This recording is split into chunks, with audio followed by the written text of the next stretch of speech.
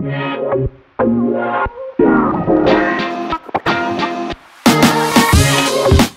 guys, welcome back to the Abt RS4 Plus. Today's a very exciting day, we've been looking forward to this for quite some time. We're actually joining the Modball UK Rally, so we're down at the O2 in London.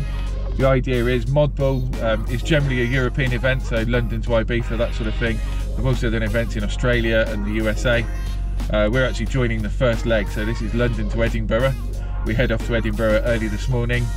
Um, the idea is we're going via Blenheim Palace, so we're going to Blenheim Palace on the way as a checkpoint, then straight up to Edinburgh.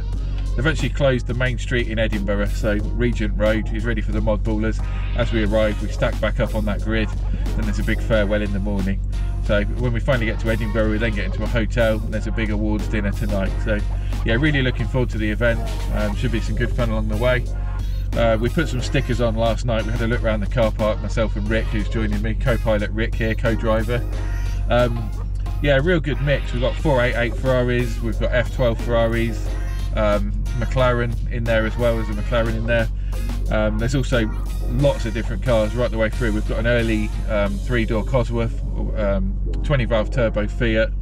Um, lots of very similar cars to this as well. So we've got the, there's an RS5 I've seen out there, a couple of RS3s. Um, so yeah, not so much about all-out power. It's just going to be an enjoyable drive up to Edinburgh enjoy it with some other people, meet some interesting people along the way.